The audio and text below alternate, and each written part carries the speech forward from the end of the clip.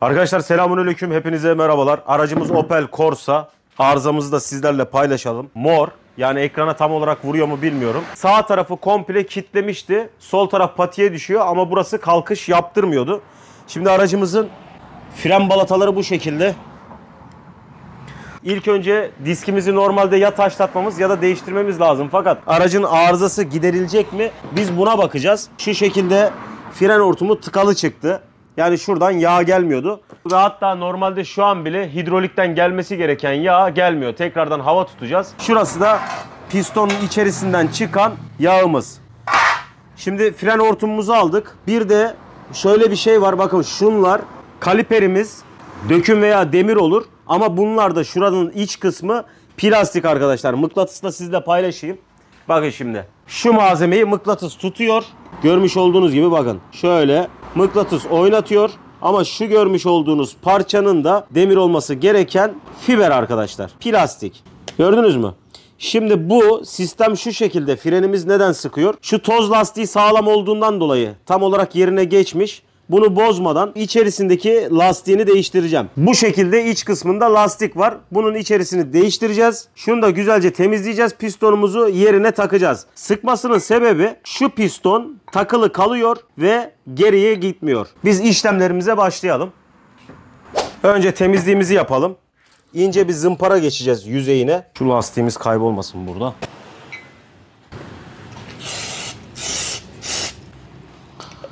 Yağdanlıkla yağlıyoruz.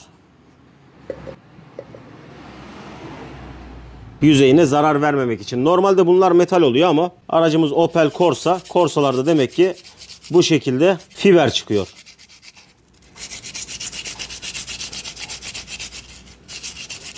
Bunda arıza olduğu zaman fren merkeziniz de patlayabilir.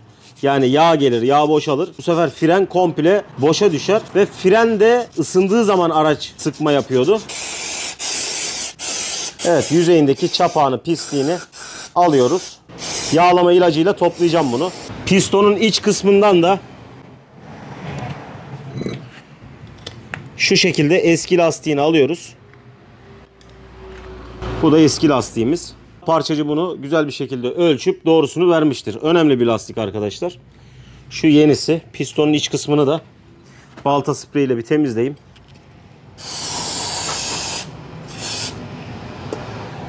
Toz lastiğimizde herhangi bir deforme olmadığından dolayı yırtığı patlağı da yok. Yerinden söküp de bozmayacağım.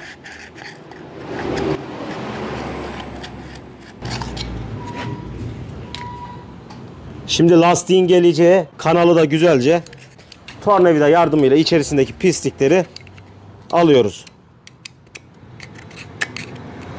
İnce bir işçilik diyebiliriz yani buna.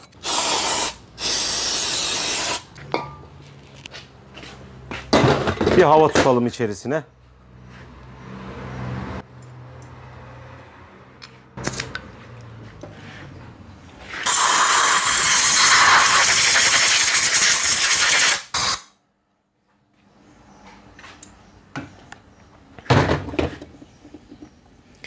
Pistonu geçirmek biraz meşakkatli oluyor. Bir de toz lastiği üzerinde.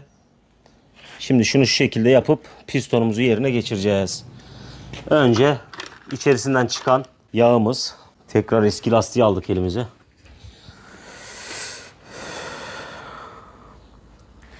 Şu elime de bir balta spreyi tıslayayım.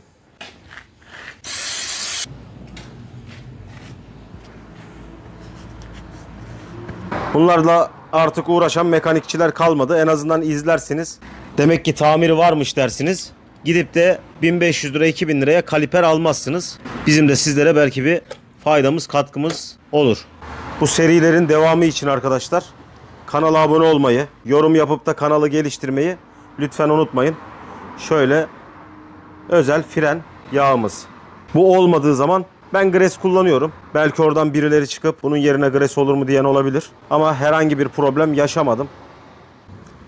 Öyle gel geç iş yapmıyoruz zaten. Olmadığı zaman Gres'te kullanabilirsiniz. Bunu güzelce her yerine yediriyoruz ki kendi lastiğine zarar vermesin. Bu arada sizin alamadığınız dehşet bir fren kokusu var acı acı. Sen de alabiliyor musun aynısı kokuyu? Aynen. Pis bir kokusu var arkadaşlar. Şimdi şu lastiğimizi çok dikkatli bir şekilde şu içerideki kanala geçirmemiz gerekiyor. Biraz daha yaklaş.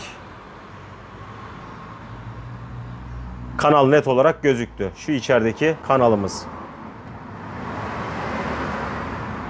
Hissederek lastiği katlamadan kanalına oturttuk.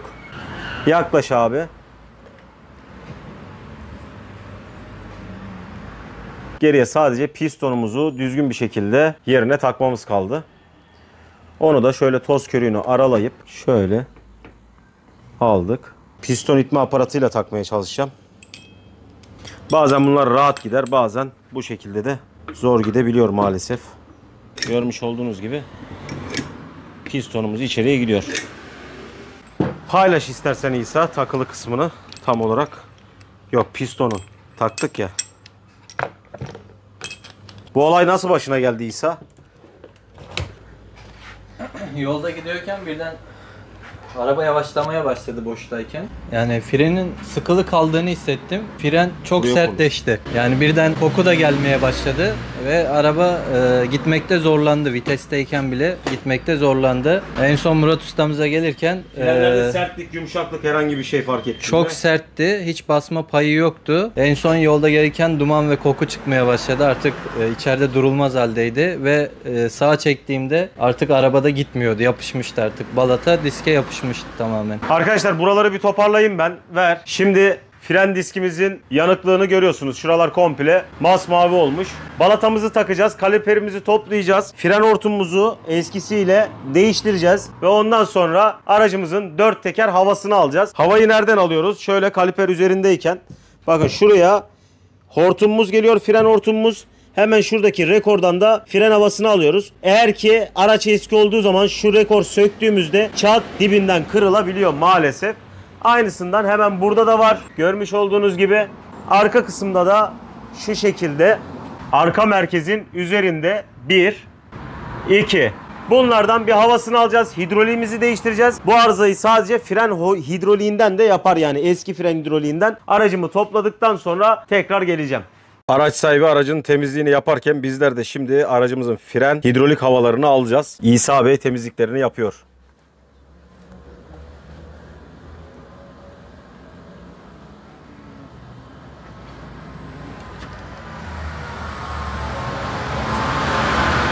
İsa Bey geçin aracınıza. Frenin havasını alalım. Sen freni pompala. Sana zahmet, bize eziyet.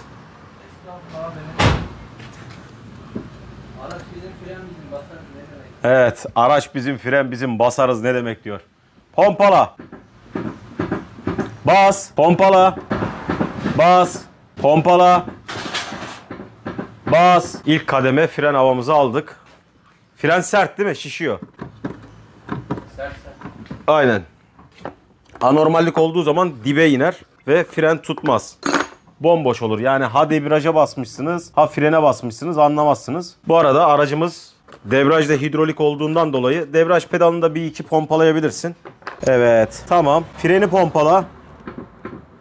Bas, pompala, bas. Sert bir şekilde bas böyle. Tam dibine kıracak gibi böyle pedalı. Basılı tutacaksın. Bas dediğimde bas yani. Sert bas. Tamam. Pompala. Bas sert bir şekilde. Tam dayan böyle dibe. Çok iyi. Bırak. Kaçak göçek var mı? Onun da kontrolünü yapacağız.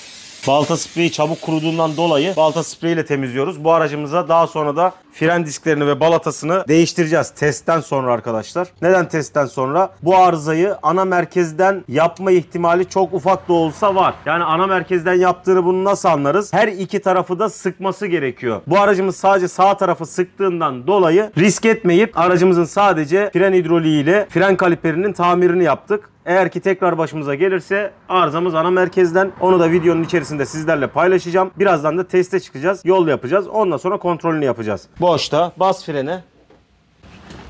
Bırak. Evet. Sol tarafta tutuyoruz. Tekerleğimizi takalım. Arkadaşlar birazdan da bu araçta teste çıkacağız. Test sonrası aracımız düzeldi mi düzelmedi mi bunlara bakacağız. Böyle bir şey başınıza gelirse nerelere bakmanız gerekiyor, nelerden yapar detaylı bir şekilde sizlerle paylaştım. Araç ısınıyor ve ısındıktan sonra tek bir tane tekeriniz kilitliyor. Bunun sebeplerini sizlerle videonun içerisinde detaylı detaylı paylaştım ve paylaşmaya devam ediyorum. Teste çıkacağız. Bakalım arızamız onarıldı mı? Sıra geldi aracımızla teste çıkmaya. Gel geri geri Şile yoluna doğru çıkalım. Deniz havası alıp gelelim. Opel Corsa 1.3 Multijet freni sıkıyor. Tedavisini yaptık. Bakalım testimiz nasıl geçecek. Abi dışarıda da kamera var ya yemin ediyorum cıncık gibi çekiyor ya. Çekiyor maşallah. Şile yoluna girdik arkadaşlar. Aynen. Zaten fren tamam. Kaldığı yeri paylaşalım. Şile yolunda hemen şurada biraz önce yaklaştığımız Shell'in önünde kaldı. Burada görmüş olduğunuz Shell de kaldı. Aracı buradan geldim çekiciyle aldım. Dükkana götürdüm.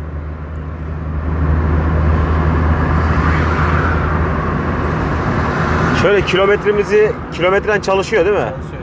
Aşağı yukarı burası bir 3 3 3 kilometre falan da ne gösteriyormuş? 343.128.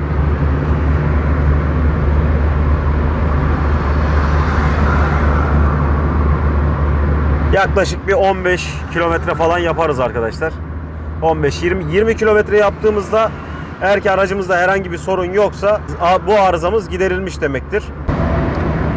Evet, Şile tabelamız ekranlara geldi. Burada yine Allah kolaylık versin. Şöyle işçi kardeşlerimiz görmüş olduğunuz gibi dışarıda çalışıyor. Maalesef.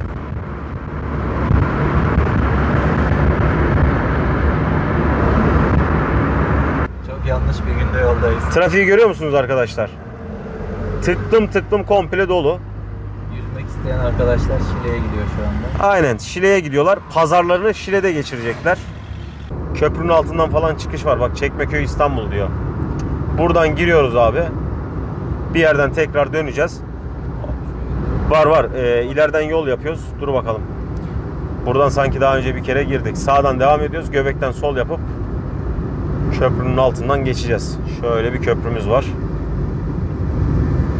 Manzaramız süper. Maşallah.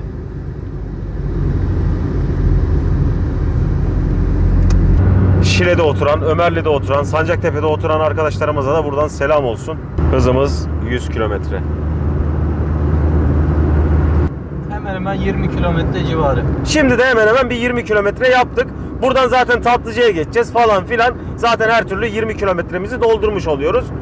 Buradan söylemek istediğim bir şey var mı? Diyen bütün arkadaşlardan takip etmesini, beğeni yollamasını bekliyoruz. Kanalımıza abone olun. Evet arkadaşlar Allah'a emanet olun. Kendinize iyi bakın. Yeni videolara görüşmek üzere. Hoşçakalın.